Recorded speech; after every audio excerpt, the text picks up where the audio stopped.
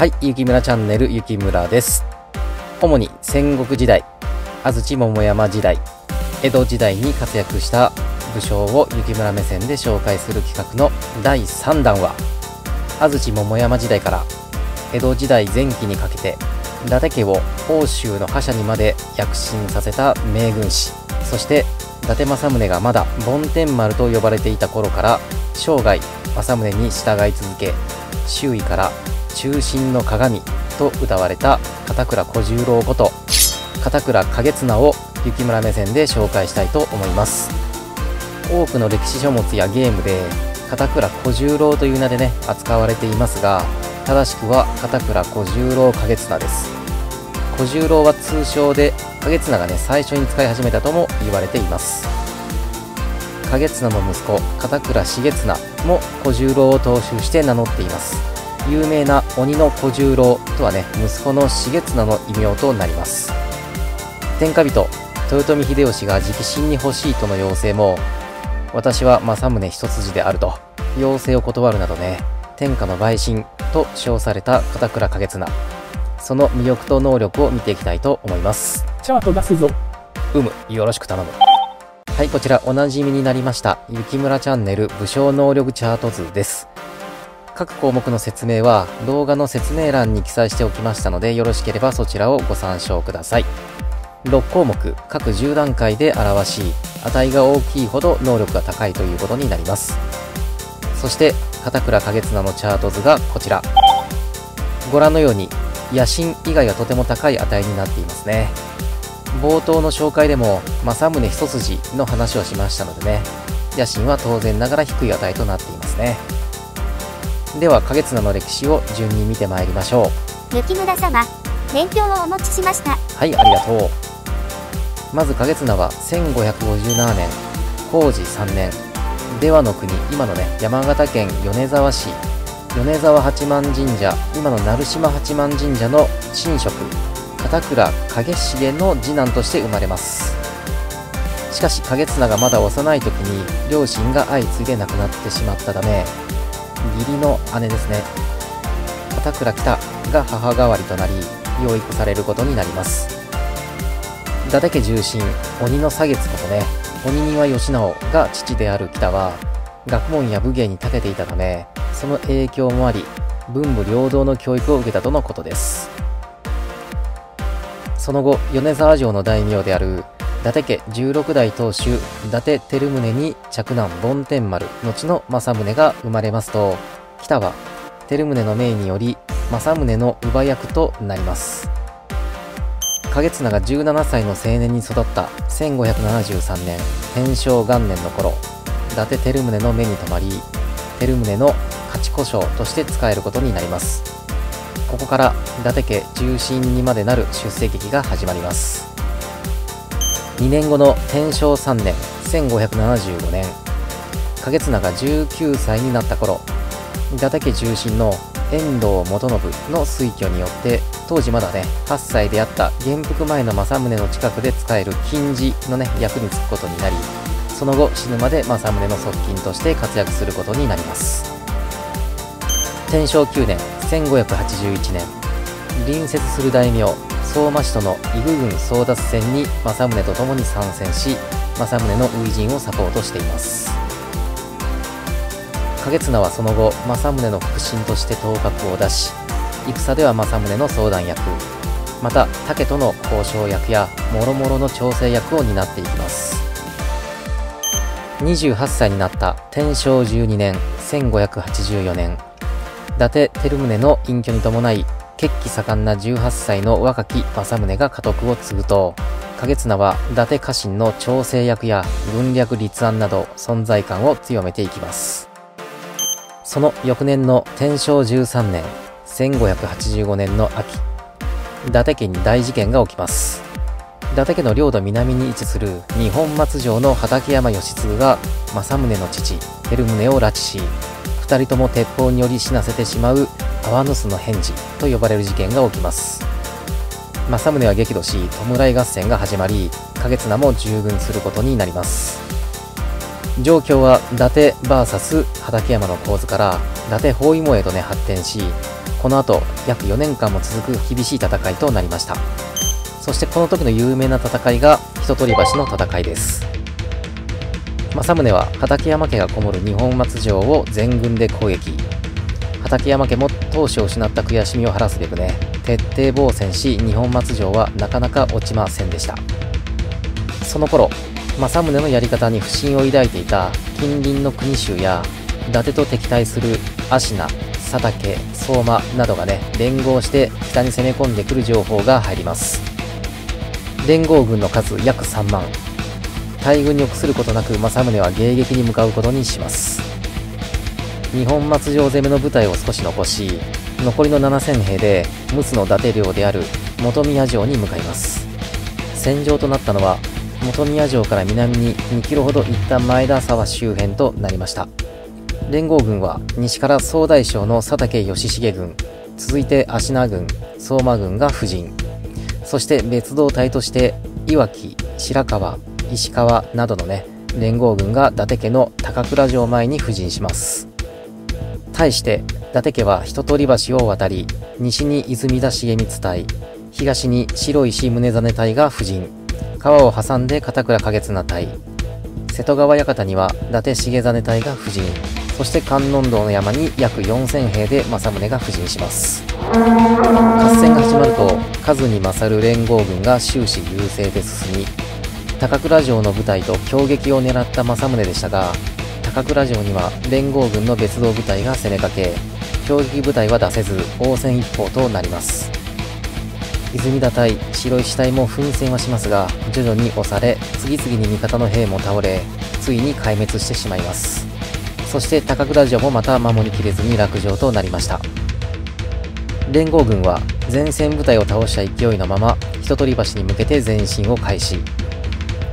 高倉攻めの部隊は伊達重実と交戦を開始します。景綱隊そして政宗本体も人取橋周辺で激突し多くの死者が出た戦いとなりました。政宗自身もやや鉄砲を鎧に浴びるなど伊達軍は劣勢のまま次第に押され始めついに政宗は本宮城まで撤退を余儀なくされます。この時大将政宗の退却時間を稼ぐために景綱が政宗の身代わりとなり敵の目をそらす行動をしたということです。そして軍配を預かった北の父伊達家宿老鬼庭左月がしんがり隊として人取り橋を越えて敵中に突入し壮絶な討ち死にをしています。それ以外にも重実隊の奮戦などもあり政宗はなんとか本宮城にたどり着くことができそのまま本宮城での籠城戦の準備に取り掛かります。かし伊達主力部隊の殲滅を目前としながらなぜか連合軍は退却してしまいますどうして退却してしまったんでしょうかまあこれには諸説あるようですけども佐竹軍内でトラブルが起きたことあとはね、佐竹本国に里見家が攻め込むという情報が入り、急遽戻ることになったというのがね、通説になっていますが、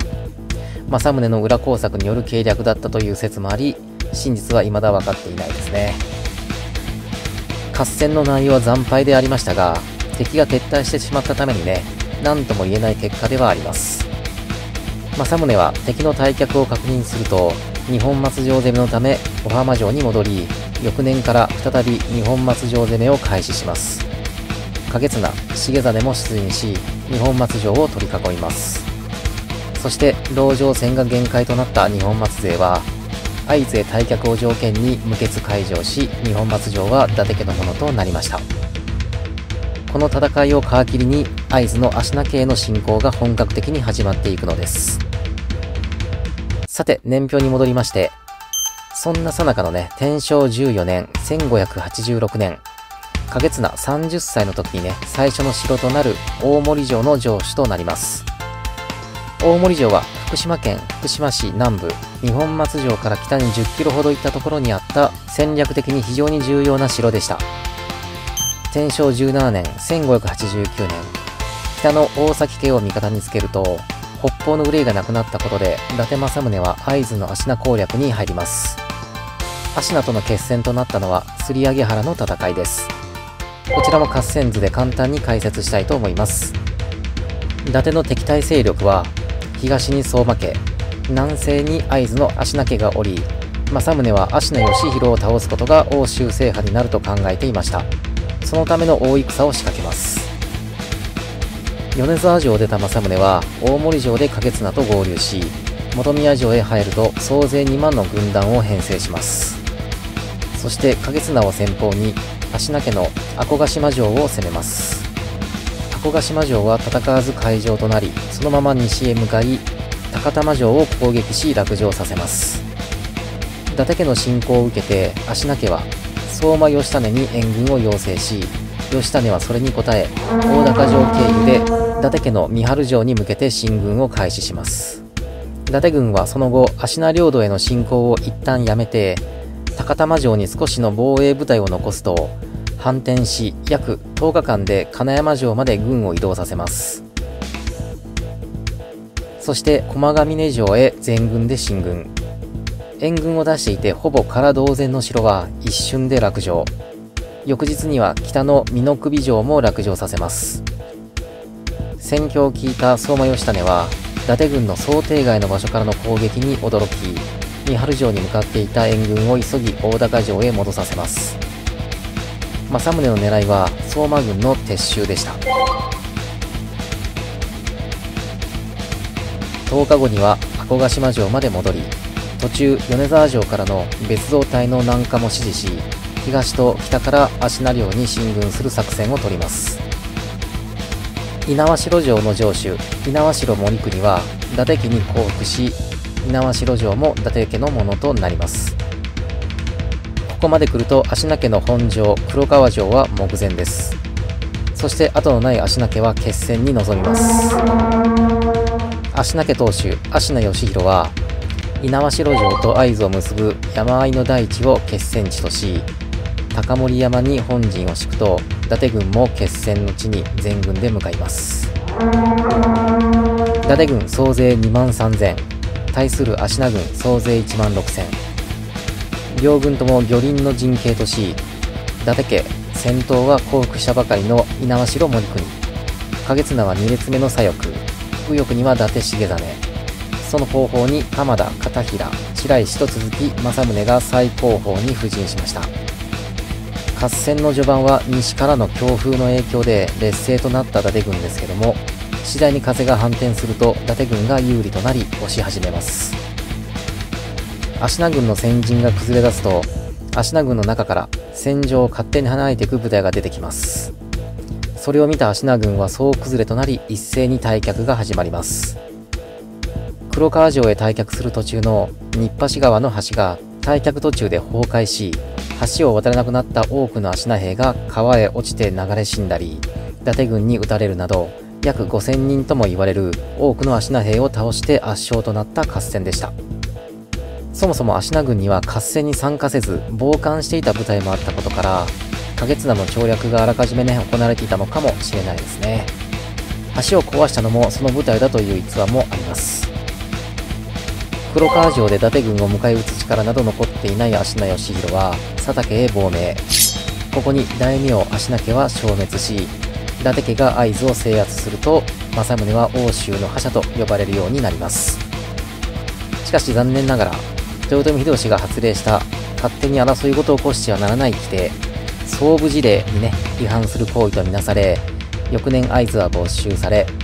松坂からの国替えで入った蒲生氏里の領土となってしまうのです。さて、年表に戻りまして、その頃の日本では、織田信長の後を継いだ豊臣秀吉が中部と西国を手中に収めており、統一の総仕上げを行っている状況です。あとは関東の北条家と出羽の最上家、そして欧州の伊達家です。ほどなく秀吉は北条討伐を始めます。俗に言う小田原征伐ですね。豊臣秀吉からの参陣要請、まあ、つまりね、豊臣家に侵入しろという要請を受けた政宗は、公戦か参陣かで悩みます。伊達家中でも意見は2つに分かれていましたが、景綱が、秀吉の軍勢はハエのようなもので、追い払っても次々湧いてくる。と言って政宗に参陣させる覚悟を決めさせます。まあこんな簡単な話し合いではなかったと思いますけどね。天正18年、1590年、景綱の助言が功を奏し、小田原征伐に地産ながらも伊達家は参陣でき、秀吉からの制裁もなく、かろうじて陸奥の所領を安堵することができました。その後、秀吉の天下となると、しばらくは大きな大乱もなく、景綱は領土安定と武力強化に力を注ぐことになります。しかし、秀吉が亡くなると、再び日本全土に不穏な動きが流れ出します。そして慶長5年、1600年、ナイフの名のもとね、好き勝手な行動をとる徳川家康に対して、豊臣政権を守りたい志田三成が戦いを挑みます。ご存知、関ヶ原の戦いですね。政宗は東軍である家康に味方をすることを選び、西軍に組みした上杉や佐竹を牽制します。そんな最中に直江兼次を対象とする会津の上杉軍が出羽の国最上家に攻め込む情報が入ると、最上家当主、最上義明から伊達家に援軍の要請が入ります。通説では、景綱が政宗に、両軍が疲弊するまで待ち、上杉勢を完膚なきまでに叩くべし、と進言していますけども、政宗は、徳川様のため、何より山形城にいる母上のために最上を見捨てるわけにはいかない。とね、いい作戦をね、却下し援軍に向かうことになります。皆さんもご承知の通り、政宗の母、義姫とは色々とありましたし、最上家と伊達家もずっと仲が良かったわけではないのですけども、まあそこはさておき、この政宗とね、景綱のやりとりには諸説あるようです。個人的にはね、元は政宗が両軍が疲弊するのを待つという作戦を検討したんじゃないかなと思うんですよね。でも景綱は関ヶ原が早々に決着することを見越していて、早いとこ援軍を出しておかないと後日家康に何を言われるか分かりませんからね。政宗は家康と三成の争いは長期化すると見ていた節もありますし、景綱の説得でしぶしぶね3000兵の伊達援軍を差し向けたと思っています。さて、ご存知の通り、関ヶ原の合戦は、あっけなく東軍徳川の勝利に終わり、上杉軍は撤退、最上の救援に成功します。伊達家は本領を安堵され、江戸時代になると伊達政宗は初代仙台藩主となります。そしてこの頃から景綱の体調が悪くなります。一説には糖尿病であったともされ、その影響で体は膨れ上がっていたとも言われています。慶長7年、1602年、白石城の城主となるも、病状が悪化し、白石城に入れたのはそれから3年後でした。元那元年、1615年、病が悪化し、大阪の陣の結果を聞くと、安堵したのか、12月の4日、白石城で亡くなりました。享年59歳。彼の死後、彼を追ってね、6名の家臣が殉死。つまり後追い自殺を行った者が6名いたと伝わっています。いかに景綱が家臣に慕われていたのかがわかりますね。自分の子供を殺そうとしたらしいわ。逸話が残っているな。政宗は結婚後もね、なかなか嫡男が生まれない中、景綱に子供ができたんですけども、景綱は政宗様よりも先に男子がいては申し訳ない。男子なら殺せ、とね、関係者に伝えていました。それを知った政宗が、どうか私に免じて殺さないでほしい。子供ほど大切なものはない。という書状が届き、後に鬼の小十郎と呼ばれることになった片倉重綱は死なずに済んだということですね。当時の政宗の手紙の文面などから、二人は固い絆で結ばれていたのがわかりますね。特別に城持ちを許されたとあるぞ。そうそう。景綱の最後の城となった白石城は、江戸時代に一国一条例が発令された後も特別に残された城なんです。伊達家の仙台藩には仙台城がありますが、片倉景綱の白石城は破却されずに特別に残されることになりました。晩年、病の中に入場した白石城ですが、幕府の許しが出たのは、それだけ景綱の功績を高く評価した家康の配慮だったんだと思いますね。お姉さんの絵が旗印なの片倉家の旗印は、この白地黒釣り金ですが、この絵柄を考案したのがお姉さんでもある伊達政宗の乳母を務めた片倉北とね、伝わっています。先ほどの説明でも、文武両道、男性に引けを取らない賢女とね、お伝えしましたが、旗の図案まで決めちゃうところが、まあ、単にね、北がおせっかいだったのか、影綱が頼りにしすぎていたのか、まあいろいろ想像してしまいますね。やはり、先見の明があったのだな。そうだな。影綱が政宗のそばでどれだけの戦略立案や、伊達家臣との折衝、近隣諸国との交渉になっていたのかは確かではないですが、1590年には秀吉の天下になることを予見し、伊達家が秀吉に逆らうことの無意味さを説いて、政宗に心中を決断させたり、関ヶ原の合戦では、東軍の徳川側が勝つと予見し、あらかじめ徳川に従い、領土安堵の結果を残したり、1614年、徳川家と豊臣家の決戦となった大阪の陣の時は、病が悪化していたために息子の重綱を派遣させます。この時、景綱は重綱に、今度の戦いは、城の堀を埋めるか、壁を崩すという条件で一度和睦し、翌年再び戦いに突入して決着がつく。だから決して焦らず、状況をよく見極めろ、とね、伝えていました。まさに景綱の予見通りに大阪冬の陣、そして夏の陣と、2度の合戦で豊臣家は滅亡したのです。秀吉は景綱の先を見る力を高く評価していて、鉄砲をいつでも発砲できる状態で全国往来できる特権を認めてもらい、それがね、江戸時代も引き続き有効特権として続いていたと言われています。ひょっとしたらこの特権がね、伊達の騎馬鉄砲隊と呼ばれるルーツになったのかもしれませんね。小十郎が一体いるの？そうそう、冒頭でもね、少し言いましたが、片倉景綱が母方の一族の武勇の死、飯田小十郎にちなんで、片倉小十郎景綱とね、名乗るようになったのが最初です。そして嫡男も小十郎を踏襲し、大阪の陣では片倉小十郎重綱の名で出陣しています。大阪夏の陣で後藤又兵衛を討ち取るなど、多くの活躍をしたことから鬼の小十郎と呼ばれています。余談ですけども、息子重綱は大阪夏の陣の最中の夜、敵軍の真田幸村から明日討ち死にをする覚悟なので家族を引き取ってほしいと依頼があり、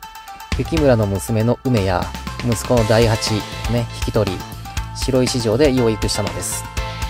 息子第八の存在は当然秘密に扱われました。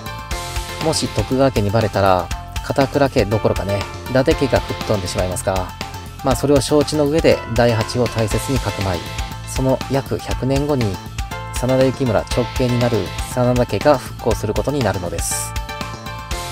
影綱もおそらくね、病の中、白石城で真田大八の姿を見たのではないでしょうか。どんな思いでね、大八を見ていたのか、いろいろ想像してしまいますよね。そして三代目影長も小十郎を名乗り、当時仙台藩内で起きた混乱を鎮め、伊達家改易の危機を防いだ活躍をしているんです。この3人の片倉小十郎を家中の美談として伊達家中が皆納得して片倉家を重んじるようになったと言われているんです。そして片倉家は代々神職の家系でもあり、現在は伊達政宗を祭神とする青葉神社の宮司の職を継いでいます。さて今回は片倉景綱を雪村目線で追ってみましたがいかがでしたでしょうか違った目線で武将の歴史を知ることでその武将の本当の人物像を想像するのも歴史のロマンであり楽しみ方だと思いますここまでご視聴いただきましてありがとうございました次回また別の武将でお会いしましょう。雪村でした。